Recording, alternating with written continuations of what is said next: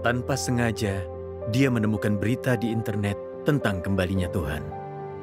Membaca firman Tuhan yang Maha Kuasa, dia mengenali suara Tuhan dan menemukan jalan menuju kerajaan surga. Namun, dia dikutuk, diancam, ditindas, dan diganggu pendeta dan keluarganya.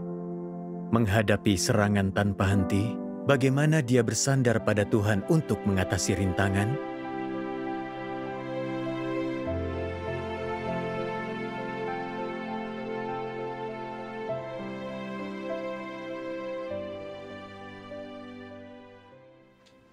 Aku lahir dalam keluarga Kristen dan ikut orang tuaku percaya Tuhan. Aku juga sering ikut pertemuan gereja dan banyak kegiatan gereja. Suatu hari pada Maret 2020, aku bertemu seorang saudari di Facebook. Kami membahas kepercayaan kepada Tuhan. Dan aku merasa perkataan saudari ini sangat baru. Misalnya, dia bertanya apa aku tahu kriteria masuk kerajaan surga. Dan topik ini langsung menggelitik rasa ingin tahuku. Kupikir, aku telah lama percaya kepada Tuhan, tapi pendeta tidak pernah membahas kriteria masuk kerajaan surga. Aku juga tidak berpikir kita bisa masuk kerajaan surga seperti ini. Ini kali pertama ku dengar topik ini dan aku penasaran. Lalu, dengan ikut pertemuan dan membaca firman, aku mengerti. Setelah dirusak iblis, kita punya natur berdosa dan sering berbuat dosa. Jika tidak menghilangkan natur berdosa ini, kita tidak bisa lepas dari dosa. Mereka yang rusak tidak layak masuk kerajaan surga. Karena Tuhan itu kudus. Manusia tidak bisa melihat Tuhan jika tidak kudus. Amin. Dia juga memberitahuku, Tuhan Yesus kembali sebagai Tuhan yang Maha Kuasa untuk mengungkap kebenaran, menghakimi dan menyucikan, untuk menghilangkan natur berdosa kita dan menyelamatkan kita dari dosa. Hanya dengan menerima pekerjaan penghakiman Tuhan dan disucikan dari kerusakan, kita layak masuk kerajaan surga. Amin. Lalu, dia membacakan dua firman Tuhan yang Maha Kuasa. Mari kita tonton videonya. Tentu, tentu.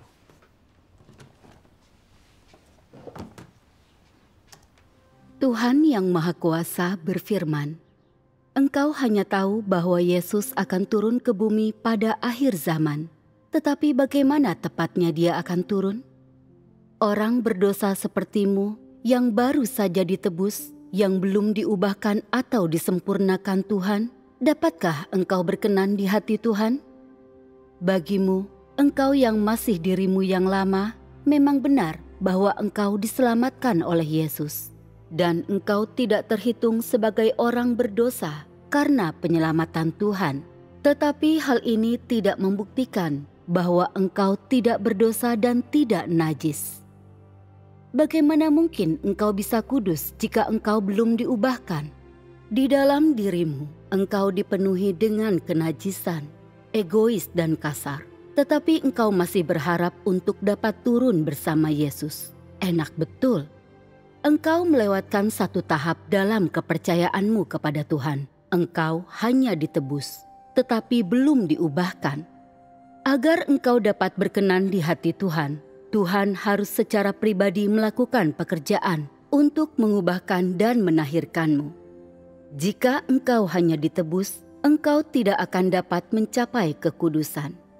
Dengan begini, engkau tidak akan layak mendapat bagian dalam berkat-berkat yang baik dari Tuhan, sebab engkau telah melewatkan satu tahap dalam pekerjaan Tuhan mengelola manusia, yaitu tahap kunci berupa pengubahan dan penyempurnaan. Dengan demikian, engkau, seorang berdosa yang baru saja ditebus, tidak dapat langsung menerima warisan Tuhan. Meskipun Yesus melakukan banyak pekerjaan di antara manusia, Dia hanya menyelesaikan penebusan seluruh umat manusia dan menjadi korban penghapus dosa manusia. Dia tidak membebaskan manusia dari wataknya yang rusak. Menyelamatkan manusia sepenuhnya dari pengaruh iblis tidak hanya membuat Yesus harus menjadi korban penghapus dosa dan menanggung dosa manusia, tetapi juga membuat Tuhan harus melakukan pekerjaan yang jauh lebih besar untuk membebaskan manusia sepenuhnya dari wataknya yang telah dirusak oleh iblis. Jadi, sekarang setelah manusia diampuni dari dosa-dosanya, Tuhan telah datang kembali menjadi daging untuk membawa manusia memasuki zaman yang baru dan memulai pekerjaan hajaran dan penghakiman. Pekerjaan ini telah membawa manusia ke dalam alam yang lebih tinggi.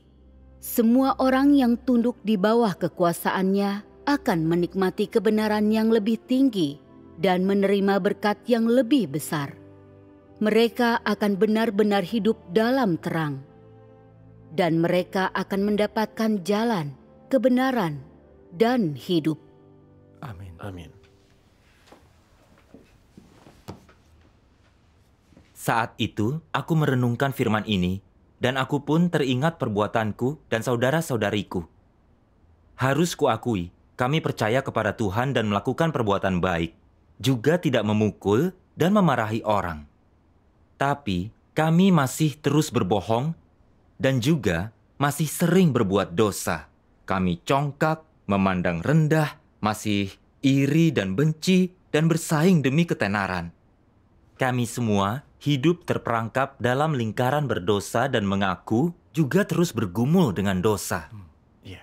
Aku tahu dari firman Tuhan yang Maha Kuasa bahwa ini karena natur berdosa kita belum dihilangkan.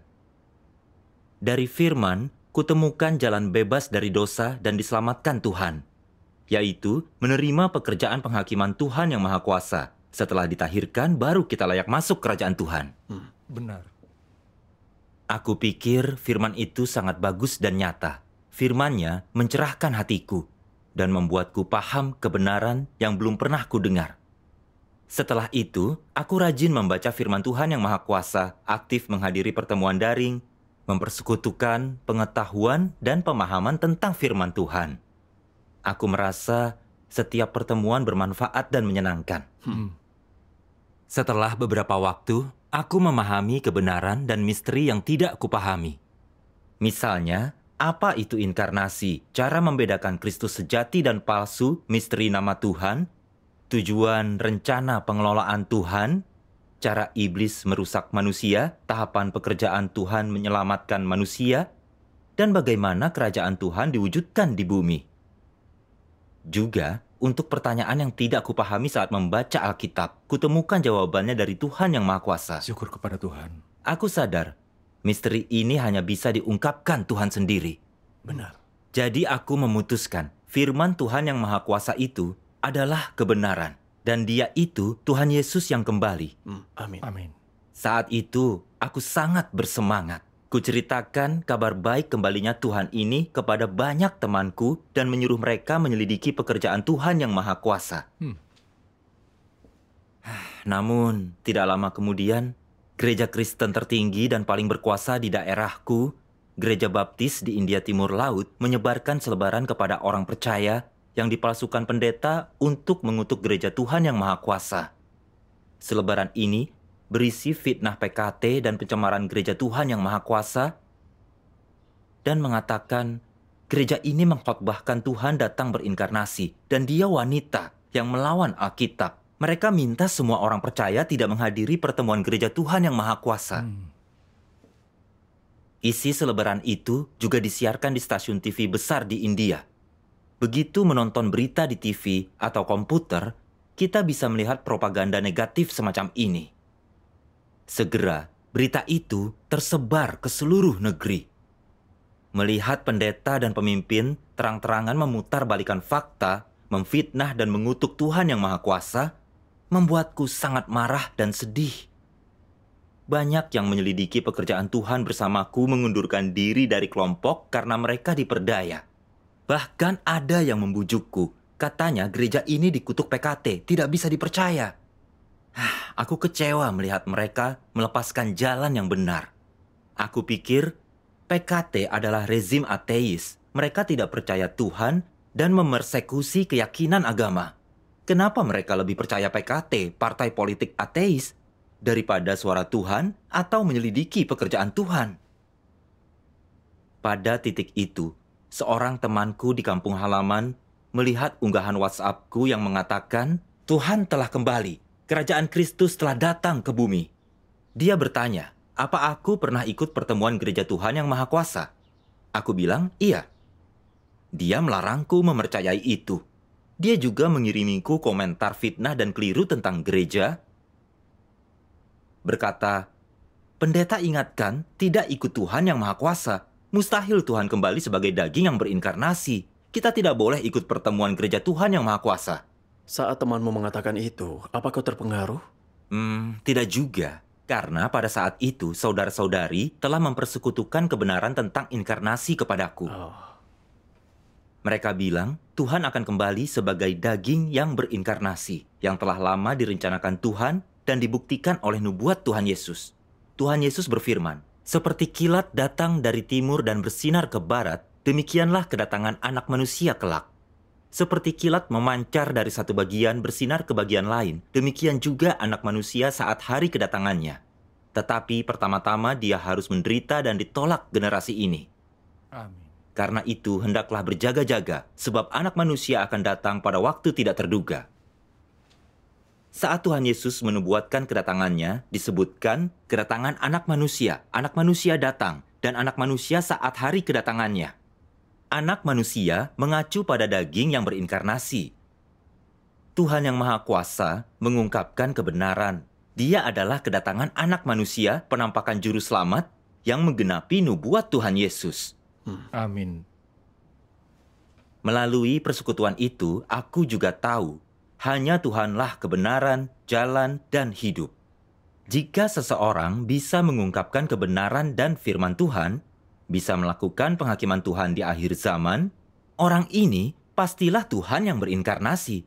Sebiasa apa pun penampakannya, atau apakah dia punya status, firman dan pekerjaannya lah yang terpenting. Ini adalah cara terbaik membuktikan identitasnya. iya. Dengan ini, aku memberitahu temanku apa yang kupahami dan berkata kepadanya, Tuhan adalah pencipta. Tuhan bisa melakukan apa pun yang dia mau. Yang harus dilakukan manusia adalah mencari, bukan menghakimi dan mendefinisikan Tuhan.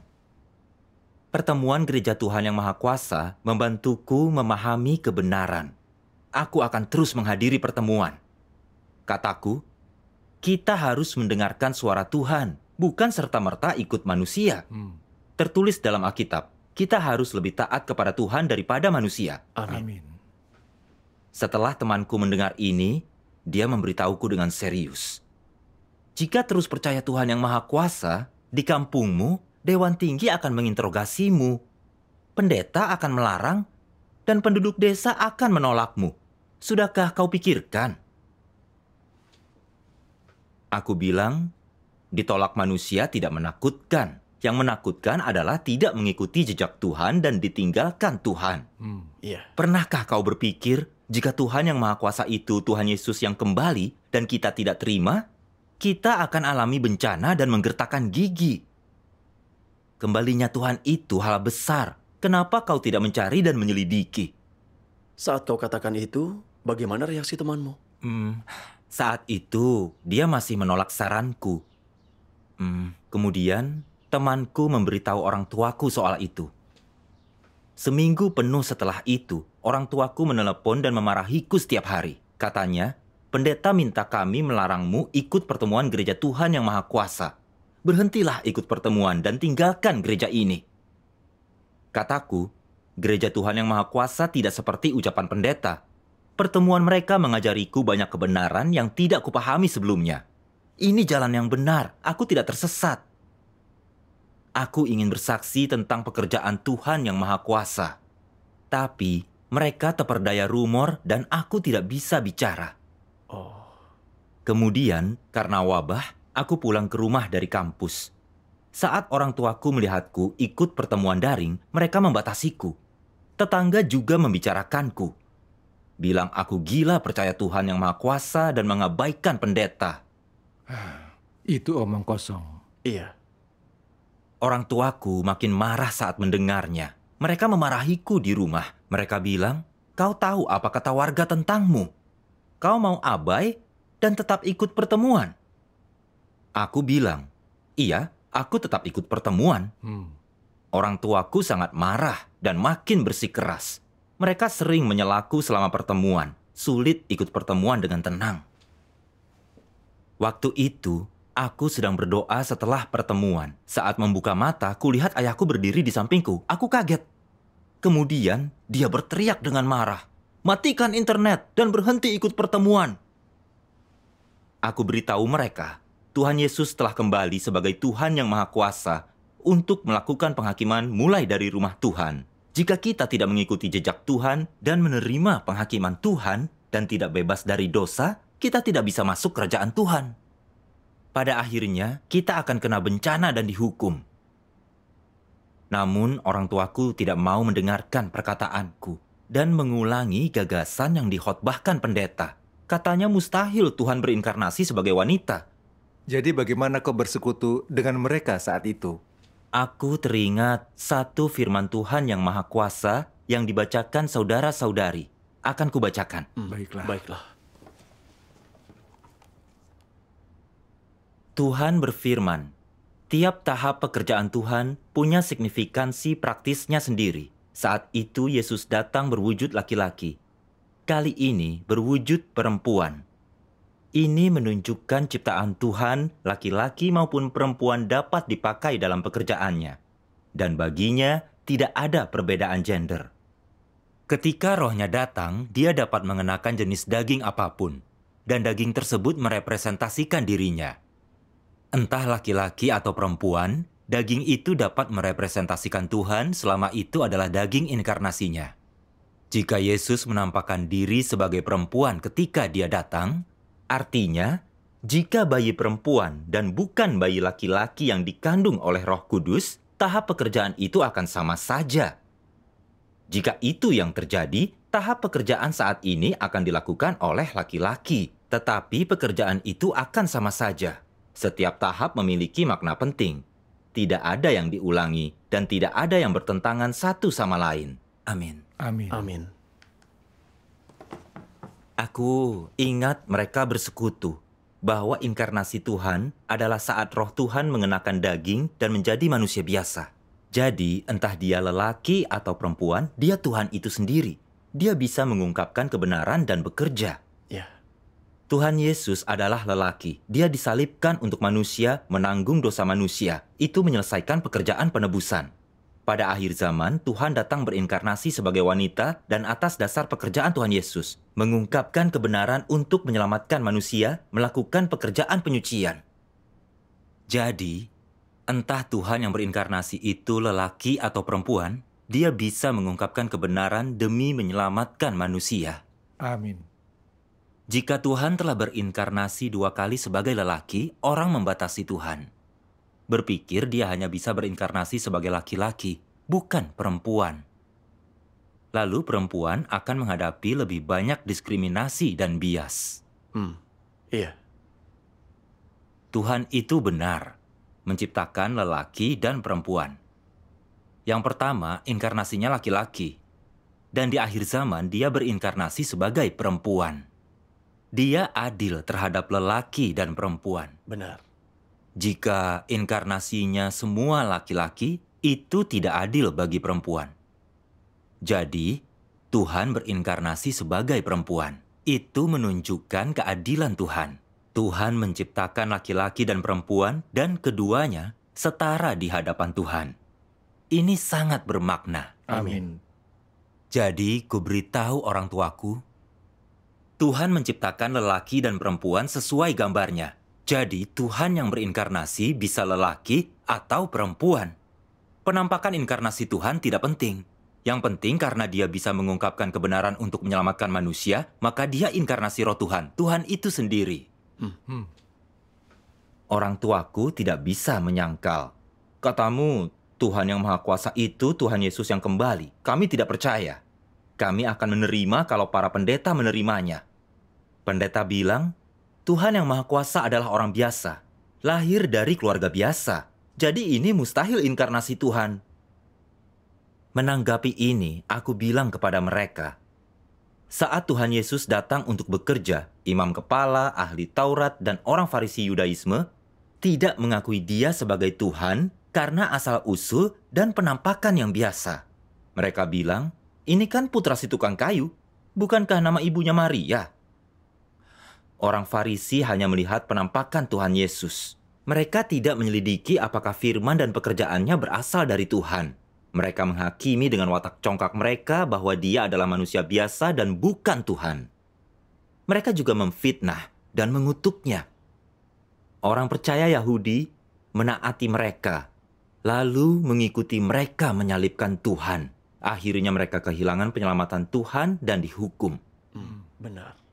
Begitu juga saat ini. Para pendeta dan penatua tidak menyelidiki apa firman yang diungkapkan Tuhan yang Maha Kuasa adalah kebenaran dan suara Tuhan. Mereka serta-merta mengutuk Tuhan yang Maha Kuasa. Katanya dia itu manusia biasa, meragukan asal-usulnya. Bukankah ini sama seperti saat orang Farisi mengutuk Tuhan Yesus? Benar. Benar. Pada titik ini, aku ingat kutipan firman Tuhan yang dibacakan saudara-saudari. Iya. Akan kubacakan. Baiklah. Tuhan berfirman, Tuhan yang berinkarnasi akan memiliki esensi Tuhan dan akan memiliki pengungkapan Tuhan. Karena Tuhan menjadi daging, dia akan lakukan yang ingin dia lakukan. Dan karena Tuhan menjadi daging, dia akan mengungkapkan siapa dia dan akan dapat membawa kebenaran kepada manusia, menganugerahkan hidup, dan menunjukkan jalan. Daging yang tidak memiliki esensi Tuhan pasti bukan Tuhan yang berinkarnasi.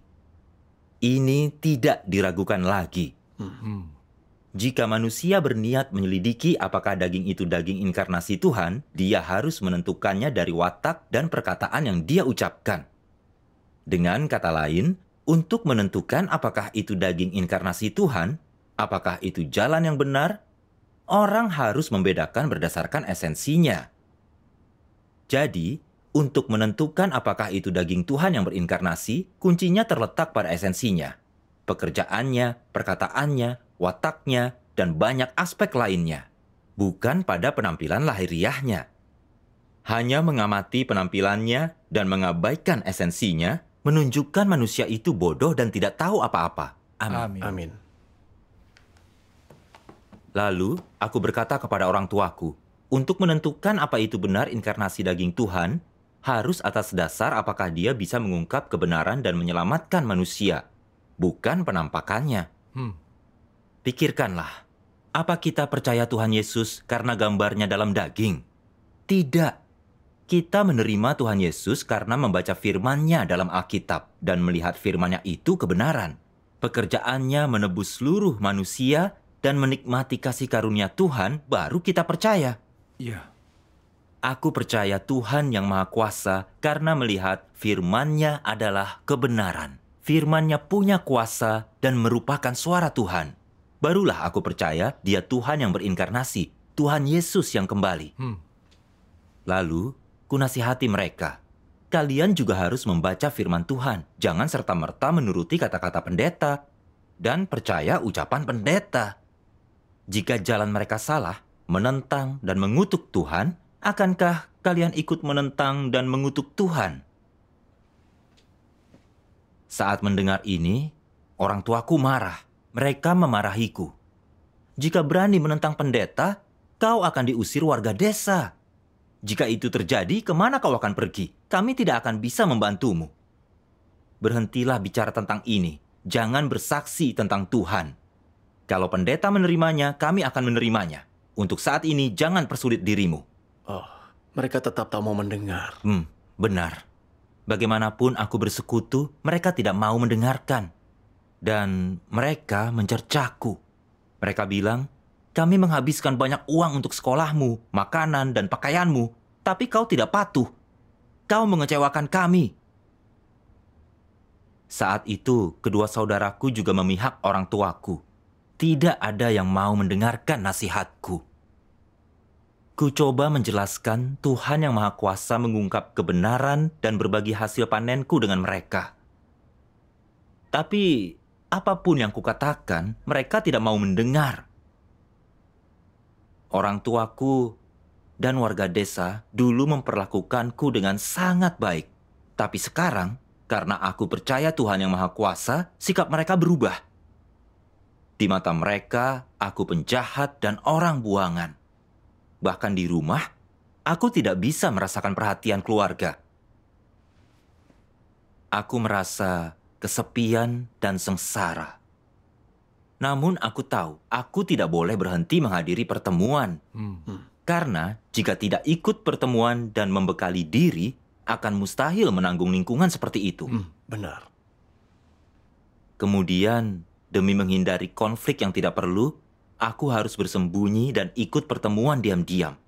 Aku tidak bisa bicara, hanya bisa bersekutu dengan yang lain lewat tulisan.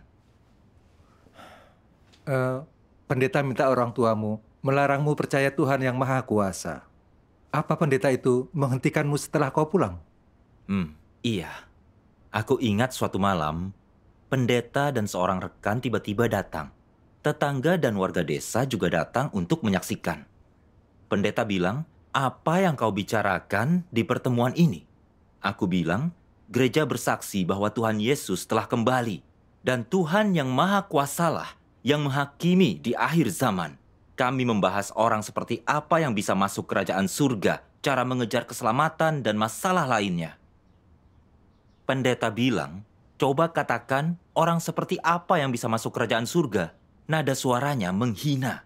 Ya, Ku jawab dia, Alkitab berkata, bukan setiap orang yang memanggilku Tuhan Tuhan akan masuk kerajaan surga, melainkan dia yang melakukan kehendak Bapakku yang di surga. Hmm. Jadilah kudus, sebab aku ini kudus. amin. Dari ayat-ayat ini kita bisa lihat jika ingin masuk kerajaan surga, kita harus bebas dari dosa, ditahirkan dari watak rusak, dan melakukan kehendak Tuhan. Saat ini, orang hidup dalam dosa, kita berbohong dan berdosa, tidak menerapkan firman Tuhan, tidak bisa masuk kerajaan surga. Benar. Aku juga bilang, dulu aku bingung.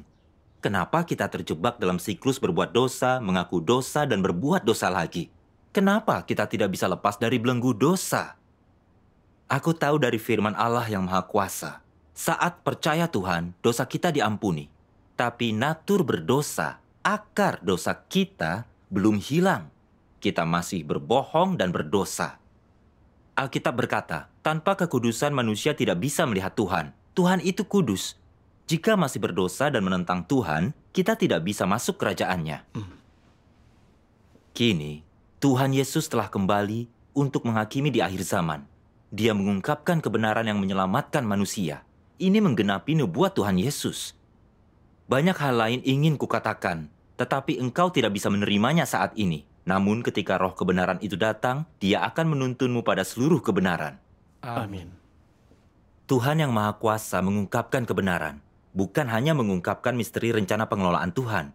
Dia juga mengungkapkan akar dosa manusia, menghakimi dan menyingkap natur berdosa manusia, seperti congkak, tipu daya, jahat, dan lainnya. Menyingkap berbagai kontaminan dan pandangan yang keliru. Kita hanya perlu percaya untuk masuk kerajaan surga. Hmm. Anggota gereja Tuhan yang Maha Kuasa mengalami penghakiman firman Tuhan, perlahan menyadari kenyataan dari kerusakan dan esensi natur mereka, menghasilkan pertobatan sejati dan menyucikan watak rusak mereka. Ini efek yang dicapai firman Tuhan pada zaman kerajaan. Iya. Untuk masuk kerajaan surga, kita harus menerima penghakiman Tuhan yang Maha Kuasa. Setelah ditahirkan, baru kita layak masuk kerajaan Tuhan. Hmm. Setelah aku selesai, pendeta bilang, Aku tahu kau rindu mengejar kebenaran, tapi kau masih muda. Kau tidak mengerti Alkitab sehingga mudah terperdaya.